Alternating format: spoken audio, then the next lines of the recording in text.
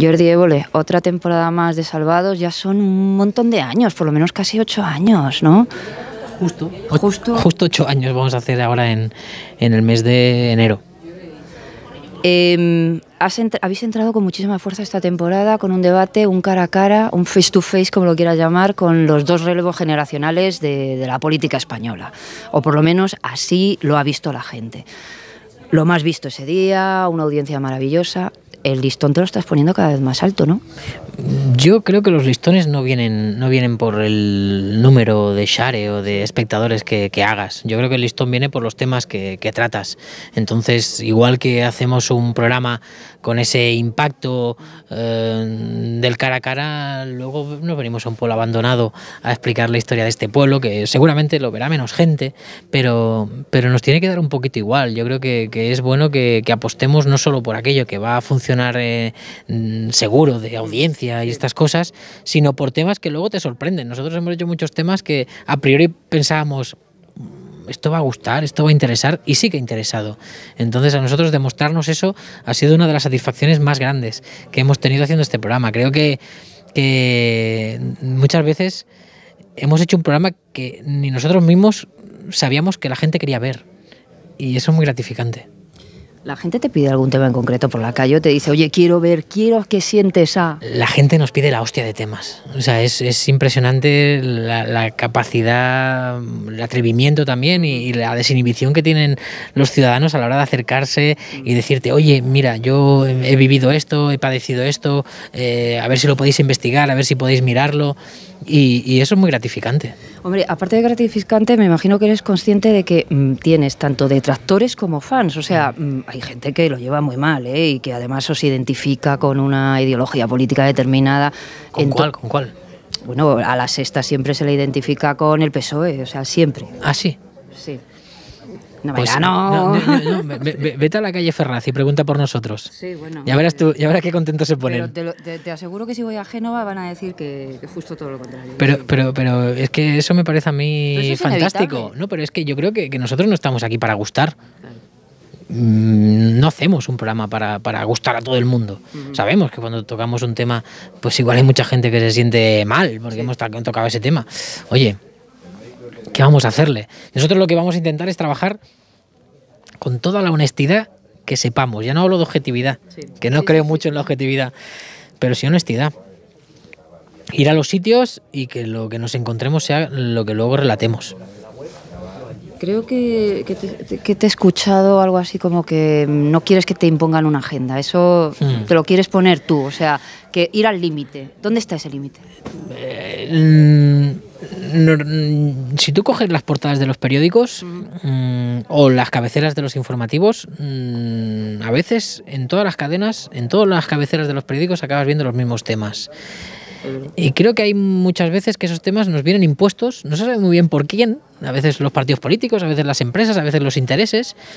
Y creo que salirnos del carril, porque temas hay mm, un montón, un montón. Y en cambio vemos siempre, le estamos dando vueltas siempre a los mismos. Entonces salirnos de ese carril para mí es muy interesante. y y no hay una vocación de querer marcar la agenda de nadie, ni mucho menos, pero, pero si nosotros tenemos la mm, posibilidad de venirnos a, un pueblo abandonado como este de Huesca, hacer un programa y, llevarlo al prime time de una tele mm, que, comercial, que lo que busca es que, el espectador esté, eh, que la publicidad pueda entrar, con un tema a priori pequeñito, pero que yo creo que al final narras una injusticia universal, pues mm, bienvenido sea. Y ese tema, este que estamos tratando, por ejemplo, aquí, vamos, mm, yo nunca lo he visto en ninguna portada. Es, completamente surrealista además esta situación. O sea. Entonces, para mí, para mí eso es maravilloso. Para mí que, que, que, tú puedas salirte del carril y, no sé, de golpe y porrazo recuperar el tema del accidente del metro de Valencia, o recuperar el tema de Zaida Cantero, o recuperar el tema de, de, de Jánovas. Hostia, pues eso es lo que más, más, más nos, nos enriquece. ¿Qué vamos a ver nuevo en esta temporada? ¿Qué es lo que mm, incorporas así que digas, mira, distinto? A ver, mm, me hace mucha ilusión hacer un programa que cerramos la semana pasada y es que nos vamos a llevar a, Cristina Cifuentes a, a conocer a una familia independentista catalana. Y va a pasar el día con ellos, no solo con una familia independentista, sino que en la misma escalera donde vive esta familia independentista, en Barcelona, también hay familias que no son independentistas y vamos a intentar, bueno, mostrar un poco la, la pluralidad que hay en Cataluña de opciones en este caso contrastándolas con una voz acreditada y emergente y con mucha fuerza ahora dentro del Partido Popular como la de Cristina Cifuentes. te voy a preguntar por qué Cristina Cifuentes. Entre otras cosas, ahora mismo es la presidenta de la Comunidad de Madrid. Eh, no descubriremos nada si, si hablamos de la rivalidad entre, entre Cataluña y Madrid. Me parecía muy interesante ver, ver cómo esa presidenta de una comunidad autónoma como la madrileña no tenía ningún problema a la hora de cogerse el AVE o el puente aéreo y venirse a Cataluña y, y debatir con una familia que seguramente no opina como ella, pero que está dispuesta a dialogar, tanto la familia como Cristina. O sea que. pasó con, con, este, con el de Esquerra, ¿no? Con Junqueras cuando fue a Sevilla. Sí, podría ser el partido de vuelta de, del programa de, de Junqueras en Sevilla. Claro. Parece que también le interesaba al presidente del gobierno cuando dijo que era de justicia, que, que bueno que volviera a Salvados y que era un reconocimiento para ti. Bueno, Eso es aquello, postureo. aquello, aquello fue una declaración que nos hizo Rajoy justo cuando empezábamos, hace ocho años. Eh, no sé si ahora haría la misma. Yo creo que sí, yo creo que sí. Y de hecho, estamos ahora mismo, a ver si lo acabamos cerrando, que igual al final no sale. Pero hay un programa que se le ha propuesto a- al presidente del gobierno, a Mariano Rajoy y a su equipo, que es ir con una, antes de elecciones, ir con una familia a comer con el presidente a Moncloa.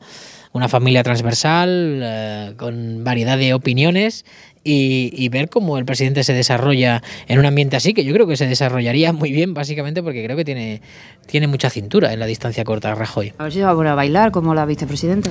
Bueno, Oye, si quiere, vamos, nosotros en principio no, no lo tenemos previsto, no lo tenemos previsto. Eh, En teoría vamos, la propuesta es ir a comer y a charlar. Una última pregunta. Eh, ¿Qué ha pasado con el Terrat? ¿Que te has independizado? ¿Que te has salido? ¿Qué ha pasado? Pues no ha pasado nada, nada malo ni nada, Nada malo. extraordinario.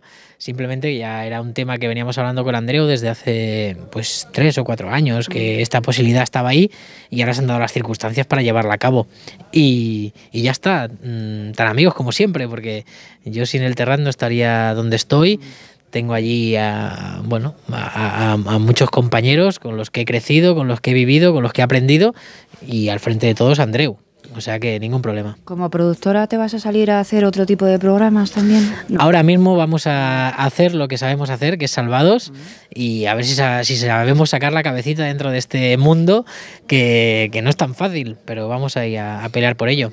Ya por último, me gustaría saber si vais a hacer alguna cosa tipo lo que hicisteis con el 23F, de esa historia que, bueno, que también tuvo muchos fans y muchos detractores después, pero... El, el falso documental. Exactamente, que salió Claro, genial. si te anuncio que vamos a hacer un falso documental, es que rompemos el juguete. No, hombre, dime que vas a hacer un, no un falso documental, un... algo distinto, que hay una sorpresa. No te lo puedo decir. O sea que sí hay algo. No, es que si te lo digo, ¿qué gracia tiene? No, no, no, es que, no, hombre, pero es que no tiene sentido. Si tú vas a hacer un programa de esas características, al anunciarlo eh, es, es romper el juguete. No sé, no sé si habrá, ¿eh? No, no, no te creas que el silencio es porque va a haber seguro. No, no, no lo sé. Ahora mismo no lo sé. Esperemos que sea así. Muchas, gracias, Jordi. Oye, a vosotros.